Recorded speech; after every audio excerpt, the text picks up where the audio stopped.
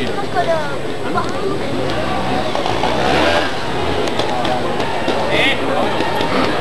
va être champion du monde ce soir.